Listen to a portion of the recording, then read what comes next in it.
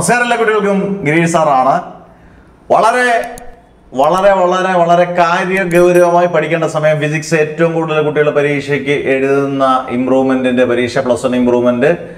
എനിക്ക് തൊണ്ണൂറ്റൊമ്പത് ശതമാനം കുട്ടികൾ എഴുതുന്ന പരീക്ഷ. നമ്മൾ ഏകദേശം എല്ലാ വീഡിയോസ് ഫിസിക്സിന് വേണ്ട വീഡിയോസ് എല്ലാം നിങ്ങൾക്ക് കണ്ട ഈ വീഡിയോയുടെ ഡിസ്ക്രിപ്ഷനകത്ത് ലിങ്കിനകത്ത് സിമ്പിളായിട്ട് ഒരു എട്ട് മണിക്കൂർ മാരത്തോൺ ഡ്രൈവോ ഒന്നും നമുക്ക് ചെയ്യേണ്ട ആവശ്യമില്ല. വളരെ സിമ്പിളായിട്ട് നിങ്ങൾക്ക് മൂന്നോ നാലോ മണിക്കൂർ കൊണ്ട് ഫിസിക്സ് പ്ലസ് വൺ നല്ല വൃത്തിയായിട്ട് പഠിച്ചെടുക്കാം. ആ വീഡിയോസ് എല്ലാം കിടപ്പുണ്ട്. നിങ്ങൾക്ക് ഡീറ്റെയിൽഡ് ആയിട്ടുള്ള വീഡിയോ ആണെങ്കിൽ ഡീറ്റെയിൽഡ് ആയിട്ടുള്ള വീഡിയോ എല്ലാം ഫുള്ള് നോട്ട്സ് ഗ്രൂപ്പിൽ കിടപ്പുണ്ട്. എല്ലാ കാര്യങ്ങളും ചെയ്തിട്ടുണ്ട്. ആപ്ലി പ്രോബ്ലംസ് ചെയ്തിട്ടുണ്ട്. നിങ്ങൾക്ക് ഏറ്റവും ടഫായിട്ട് തോന്നുന്ന അല്ലെങ്കിൽ അങ്ങനെയുള്ള പ്രോബ്ലംസ് ഇനി ഞാൻ ചെയ്യാൻ ഉദ്ദേശിക്കുന്ന ഇപ്പം ഞാൻ ഉദ്ദേശിക്കുന്ന വീഡിയോ അല്ലാതെ നമ്മൾ ചെയ്യാൻ ഉദ്ദേശിക്കുന്ന പരീക്ഷയ്ക്ക് മുമ്പ് നിങ്ങൾക്ക് ഒരു അരമണിക്കൂർ കൊണ്ട് പലരും പറയുന്നുണ്ട് വൺ മാർക്ക് ക്വസ്റ്റ്യൻ ഭയങ്കര പാടാണോ? ശരിയാണ്. ചിലപ്പോൾ വൺ മാർക്ക് ക്വസ്റ്റ്യൻ നമ്മളെ പലപ്പോഴും തെറ്റിക്കാറുണ്ട്. അതൊരു ഒരു നൂറെങ്കിലും നൂറ് ക്വസ്റ്റ്യെങ്കിലും വൺ മാർക്ക് ക്വസ്റ്റ്യൻ ചെയ്യണമെന്നുണ്ട്. ഇതൊക്കെ ഇച്ചിരി കഷ്ടപ്പെട്ട് ചെയ്യുന്നതാണ്. അതുകൊണ്ട് നിങ്ങൾ മാക്സിമം ഷെയർ ചെയ്യണം. സബ്സ്ക്രൈബ് ചെയ്യാൻ മറക്കില്ല മക്കളെ?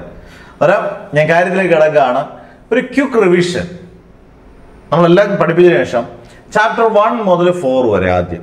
പിന്നെ ഫൈവ് മുതൽ എയ്റ്റ് വരെ. അങ്ങനെ ബാക്കി അങ്ങനെ ഒരു ക്യുക്ക് റിവിഷൻ നടത്തുമ്പോൾ നിങ്ങൾക്ക് എവിടൊക്കെ എന്തൊക്കെ പഠിക്കണം പഠിച്ചുകൊണ്ട് പോകണം എന്നുള്ള വ്യക്തമായ ഐഡിയ ഈ വീഡിയോയിലൂടെ കാണും. സ്കിപ്പ് ചെയ്യരുത്.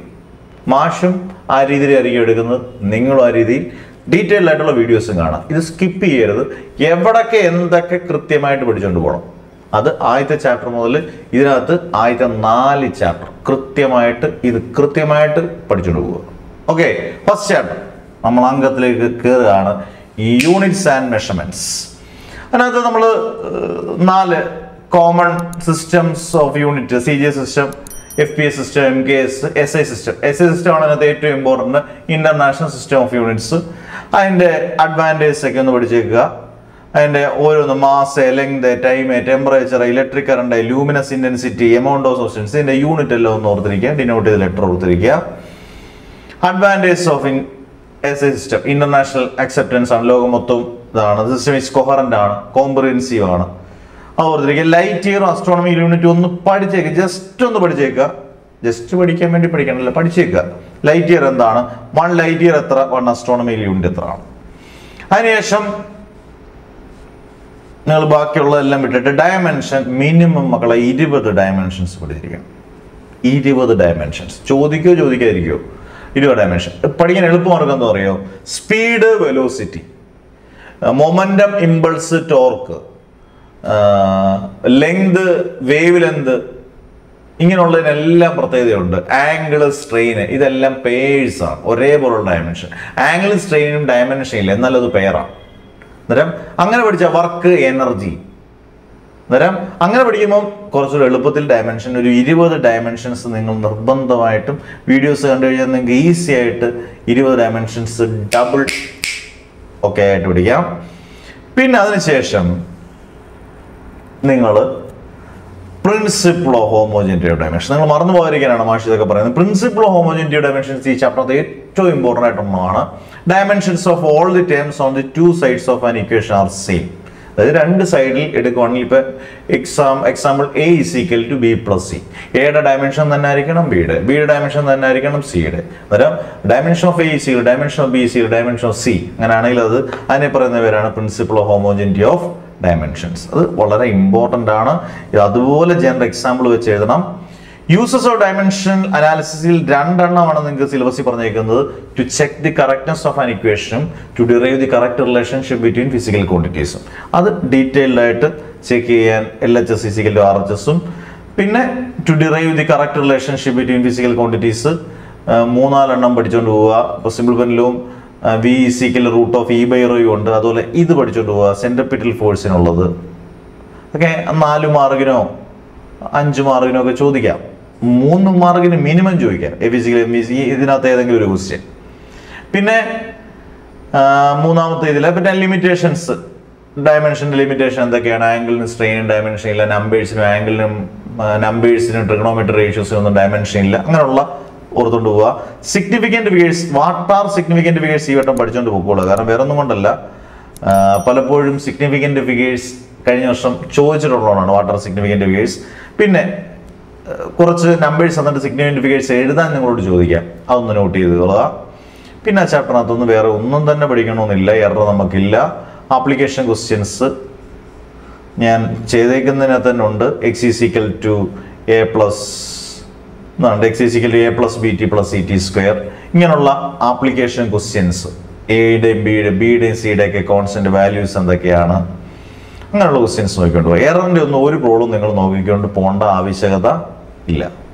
ഓക്കെ പിന്നെ മോഷൻ വൺ ഡയമെൻഷൻ എന്ന് പറയുന്നത് മോഷൻ ലൈൻ എന്ന് പറയുന്ന ചാപ്റ്ററാണ് മക്കളെ. അതിനകത്ത് നിങ്ങൾ പഠിക്കേണ്ട ടോപ്പിക്കുകൾ ഈ average velocity instantaneous velocity uniform velocity just ഒന്ന് നോക്കിയേക്കുക. യൂണിഫോം വെലോസിറ്റി എന്ന് പറഞ്ഞാൽ equal displacement in equal intervals of time പിന്നെ ആക്സലറേഷന്റെ യൂണിറ്റ് വെലോസിറ്റിയുടെ യൂണിറ്റ് ഒക്കെ അറിയാമല്ലോ. സ്പീഡും ഡിസ്റ്റൻസും തമ്മിലുള്ള വ്യത്യാസം. Difference between speed and velocity instantaneous acceleration uniform acceleration ആണ് ഇവനാണ് അതിനകത്ത് ഏറ്റവും important kinematic equations for uniformly accelerated motion എന്ന് പറഞ്ഞാൽ v is equal u plus a t ഇതിനെ പറയുന്ന പേരാണ് velocity time relation s is equal to u t plus half a t square v square minus u square is equal two s ഈ മൂന്ന് ഇക്വേഷനും derive ചെയ്ത് പഠിക്കണം. Derive ചെയ്ത് പഠിക്കണം. എന്നാണ്ട്. ഇതെല്ലാം നമ്മുടെ വീഡിയോക്കകത്തുള്ളതാണ്. Velocity time relation position time relation position velocity relation പിന്നെ ഒരു എന്ത് സെക്കൻഡിലുള്ള ഡിസ്റ്റൻസ് ട്രാവലിനെ എന്ത് സെക്കൻഡിലൂടെ നോക്കിക്കൊണ്ട് പോയാൽ ബഹു ഏ? പിന്നെ നിങ്ങൾ ഇതിനകത്ത് പഠിക്കേണ്ട ടോപ്പിക്കുകൾ ഗ്രാഫുകൾ. Position time graph velocity time graph ഇതിന്റെ യൂസസ് കൂടെ പഠിച്ചതല്ല. എന്തൊക്കെയാണ് പൊസിഷൻ ഡയഗ്രാഫിന്റെ യൂസ് എന്താണ് വെലോസിറ്റി ഡയഗ്രാഫിന്റെ യൂസ് അതിന്റെ ഏരിയയിൽ നിന്ന് എന്ത് കിട്ടും? അതൊക്കെ ഒന്ന് നോക്കിയിട്ട് പോകും അത് നിങ്ങൾക്ക് പെട്ടെന്നാണ്ട് ഇതൊക്കെ ഉണ്ട്. നെഗറ്റീവ് ഓഫ് ആക്സലേഷനെ പറയുന്ന പേരെന്താണ്? Retardation retardation negative of acceleration is known as retardation relative velocity നമുക്ക് സിലബസിൽ ഇല്ല. അത് പഠിക്കേണ്ട. ഏഹ് ആവശ്യമില്ലാത്തത് പഠിക്കേണ്ട. പിന്നെ സ്റ്റോപ്പിംഗ് ഡിസ്റ്റൻസ് അതിന്റെ ഡെറിവേഷൻ ഇത് ഏറ്റവും കൂടുതൽ വട്ടം പരീക്ഷയ്ക്ക് ചോദിച്ചേക്കുന്ന ഒരു ക്വസ്റ്റ്യാണ് ഹൺഡ്രഡ് പെർസെന്റേജ് നല്ലൊരു ക്വസ്റ്റ്യൻ ചോദിക്കാവുന്ന ഒരു ക്വസ്റ്റ്യൻ ആണ്. S to u t plus half a t square graphically അല്ലെങ്കിൽ position time relation graphically graph വരച്ചിട്ട് s is equal to u t plus half a t സ്ക്വയറിന് ഡിറൈവ് ചെയ്യണം. അങ്ങനെയുള്ള ക്വസ്റ്റ്യൻസ് നോക്കുക. അതിന്റെ ആപ്ലിക്കേഷൻ ക്വസ്റ്റ്യൻസ് ഒക്കെ ഒന്ന് നോക്കിയേക്കുക. കേട്ടോ? അതൊക്കെ പഠിച്ചാൽ നമുക്ക് രണ്ടാമത്തെ ചാപ്റ്റർ ഡബിൾ ഓക്കെ ആണ്. മോഷൻ ഇൻ എ പ്ലെയിൻ മൂന്ന് അത് ചാപ്റ്ററിനകത്ത് അതിനകത്ത് നിങ്ങൾ സ്കെയിലർ ക്വാണ്ടിറ്റീസും വെക്ടർ ക്വാണ്ടിറ്റീസിന്റെ എക്സാമ്പിൾ ഒക്കെ ഓർത്തിരിക്കുക കാരണം ഡിഫറൻസ് നമുക്ക് രണ്ട് കോളമായിട്ട് സ്കെയിലർ ക്വാണ്ടിറ്റീസും വെക്ടർ ക്വാണ്ടിറ്റീസും തരം തിരിച്ച് എഴുതാൻ ചോദിക്കും. പിന്നെ ടൈപ്പ് ഓഫ് വെക്ടേഴ്സിൽ ഞാൻ കണ്ടേക്കുന്ന ഈ ഇമ്പോർട്ടന്റ് വെക്ടർ ഇത് തന്നെയാണ്. സീറോ വെക്ടർ സീറോ മാഗ്നിറ്റ്യൂഡും arbitrary ഡയറക്ഷനുമാണ് properties of zero vector examples of zero vector ഇത്രയും കാര്യങ്ങൾ പഠിക്കുക. Triangle law vectors must and parallelogram parallelogram vectors നിങ്ങൾ പഠിക്കുമ്പോൾ വ്യക്തമായിട്ട് മനസ്സിലാക്കണം പാരലോഗ്രാമിന്റെ മാഗ്നിറ്റ്യൂഡ് പഠിക്കണം മക്കളെ. Magnitude r is equal to root of simple ഹമ്പിളായിട്ട് മാഷ് ചെയ്തിട്ടുണ്ട് two p q cos theta magnitude പഠിക്കണം ഡയറക്ഷൻ പഠിക്കണം. ഡയറക്ഷൻ ഉണ്ട് ഇതാണ് മാഗ്നിറ്റ്യൂഡ്. ഉണ്ടോ ഉണ്ട് ഇതാണ് direction tan alpha is equal to q sine theta by p plus q cos theta okay special കേസൊക്കെ നിങ്ങൾക്ക് എളുപ്പമായിരിക്കും.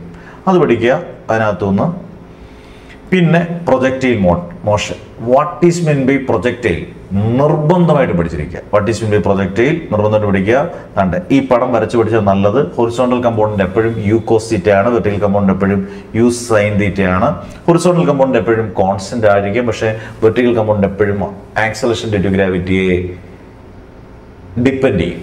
ഈ ബോക്സിനകത്ത് കിടക്കുന്ന സെനൻസ് വായിക്കുക പഠിക്കുക. Expression for maximum height time of flight and horizontal range വളരെ ഇമ്പോർട്ടന്റ് പ്രോബ്ലത്തിനകത്തും മാക്സിമം ഹൈറ്റിനുള്ള ഇക്വേഷൻ ഡെറിവ് ചെയ്യുമ്പോൾ ഡെറിവ് ചെയ്ത് പഠിക്കണം. H is equal u square sine square theta by two g time of flight t equation two u sine theta by g horizontal റേഞ്ചിനുള്ള equation r is equal to u square sine two theta by g അത് പഠിക്കുക.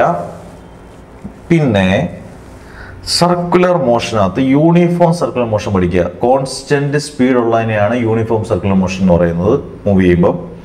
പിന്നെ അതിനകത്ത് relation between linear velocity and angular velocity അതായത് v is equal r omega ഞാൻ അതിനകത്ത് പഠിപ്പിച്ചിട്ടുണ്ട്.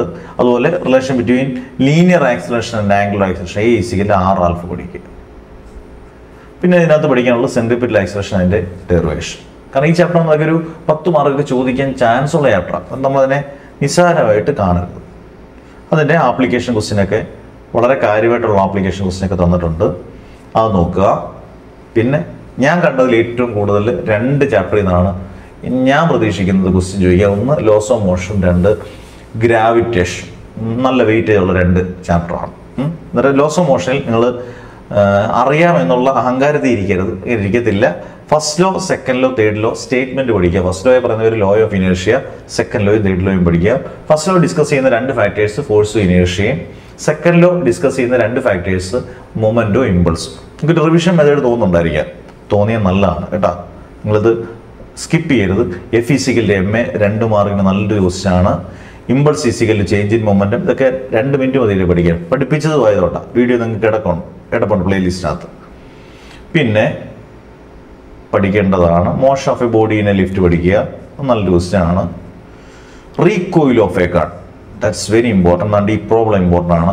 Batsman hits back a ball straight in the direction of bowler okay recoil of a discussion of third law എന്ന് പറയുന്നതാണ് recoil of a card അത് പഠിക്കണം. അതിന്റെ പ്രോബ്ലംസും പഠിച്ചിട്ടുണ്ട് ഈ ടിക്ക് ചെയ്യുന്ന പ്രോബ്ലംസ് എല്ലാം ഒന്ന് നോക്കിക്കോണം. ഓക്കെ പിന്നെ ഡിഡക്ഷൻ ഈ ചാപ്റ്ററിൽ നിന്ന് ഒട്ടും ഒഴിവാക്കാൻ പറ്റാതെ first law from second law deduction അതുപോലെ തന്നെ deduction of third law from second law പിന്നെ ഇതും ചോദിച്ചിട്ടുള്ള വർഷങ്ങളാണ് കൂടുതലും law of conservation of linear movement എളുപ്പമാണ്. If no external force acts on a system the total linear മൂവ്മെന്റും remains constant അല്ലെങ്കിൽ രണ്ട് വസ്തുക്കൾ കൊളൈഡ് ചെയ്താൽ total momentum after collision is equally total momentum before collision പിന്നെ law of conservation linear movement അനുസരിച്ച് ന്യൂട്ടന്റെ second law prove ചെയ്യുന്നതും third law prove ചെയ്യുന്നതും പഠിക്കുക അത്രയും പഠിക്കുമ്പോൾ ലോസ് ഓഫ് മോഷനെ ഉറപ്പിക്കാവുന്ന ക്വസ്റ്റ്യനായി പിന്നെ ഫ്രിക്ഷൻ ആകുന്നത് ഉറപ്പിക്കാവുന്ന ഒരു ക്വസ്റ്റ്യൻ ആണ്. ലിമിറ്റിംഗ് സ്റ്റാറ്റിക് ഫ്രിക്ഷൻ പഠിക്കുക. ആ ആവശ്യമുള്ളത് മാത്രം. Laws of static friction very important and laws of kind friction important lubricants friction is a necessary evil friction is a necessary evil എന്ന് പറഞ്ഞാൽ അതിന്റെ അഡ്വാന്റേജും അതിന്റെ ഡിസഡ്വാന്റേജും പഠിക്കുക. ആംഗ്ലോ ഫ്രിക്ഷൻ ഒന്നും പഠിച്ചില്ലെങ്കിൽ കുഴപ്പമില്ല. ആംഗ്ലോ റിപ്പോസ് വേണമെന്നില്ല. പിന്നെ നമുക്ക് വേണ്ടത് ഇവനാണ്. Banking of roads that's very important question of laws of motion banking of roads പടം വരയ്ക്കണം. സിമ്പിളായിട്ട് വേർ ആൻഡ് എയറും സ്കെഡിങ്ങും ആക്സിഡന്റും ഒക്കെ ഒഴിവാക്കാൻ വേണ്ടി ഇന്നർ എഡ്ജിന് മുകളിൽ ഔട്ടർ എഡ്ജ് റേസ് ചെയ്യുന്നതിനെ പറയുന്ന പേരാണ് ബാങ്കിങ് റോഡ്സ് അതിന്റെ ഡെറിവേഷൻ പഠിക്കണം. V is equal to main equation v is equal root of r g tan theta അതിന്റെ അടുത്ത ഡെറിവേഷൻ പഠിച്ചിരിക്കണം.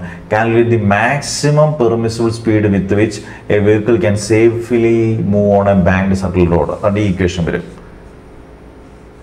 V max is equal root of r g tan theta plus mu by one minus mu tan theta അത്രയും പഠിച്ചതിന് ശേഷം application question കണ്ട് ഈ മാഷ് tick ചെയ്യുന്നത് മാത്രം പഠിക്കുക. ആദ്യത്തെ നാല് ക്വസ്റ്റ്യൻ പഠിക്കുക.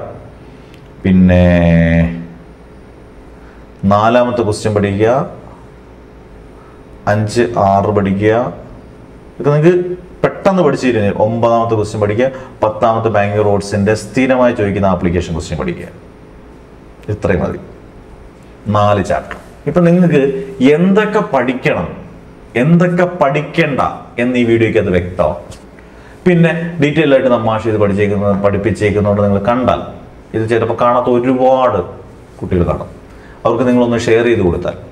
അവർക്ക് നല്ല മാർഗം അവർക്ക് കിട്ടുന്നുണ്ടെങ്കിൽ ക്ലാസ്സുകൾ നിങ്ങൾക്ക് മനസ്സിലാക്കാൻ പറ്റുന്നുണ്ടെങ്കിൽ അതൊരു നല്ല കാര്യമെന്ന് വിചാരിക്കുന്ന ഒരു ഭാഷയാണ് നിങ്ങൾക്ക് നല്ല മാർഗം കിട്ടട്ടെ എന്ന് എപ്പോഴും പ്രവർത്തിച്ചുകൊണ്ട് എല്ലാ വിഷയങ്ങൾക്കും എല്ലാ വിഷയങ്ങൾക്കും നമ്മൾ വീഡിയോ ചെയ്യുന്നുണ്ട്. നന്നായിട്ട് കണ്ടുപിടിക്കുന്ന കുട്ടികളുണ്ട്. നിങ്ങൾക്ക് എല്ലാവർക്കും നല്ല മാർഗം കിട്ടട്ടെ എന്ന് പ്രാർത്ഥിക്കുന്നു. അന്നേരം chapter one two four quick revision complete ഇതുപോലെ ഫൈവ് ടു അടുത്ത രണ്ട് രണ്ട് വീഡിയോ ആയിട്ട് ക്യുക്ക് റിവിഷനിൽ നമുക്ക് എന്തൊക്കെ പഠിക്കണം എന്തൊക്കെ വേണ്ട. ഇത് മാത്രം പൊതു ഉറപ്പ് ഹൺഡ്രഡ് പെർസെന്റേജ് നിങ്ങൾക്ക് ഗംഭീര മാർക്ക് കിട്ടിയിരിക്കും. സംശയം വേണ്ട. ഇപ്പം പഠിക്കാൻ തുടങ്ങിയാലും സൂപ്പർ മാർക്ക് മേടിക്കാം. നെവർ എവർ ഗിവ് അപ്പ് അടുത്ത വീഡിയോയ്ക്ക് വേണ്ടി വെയിറ്റ് ആൻഡ് സീ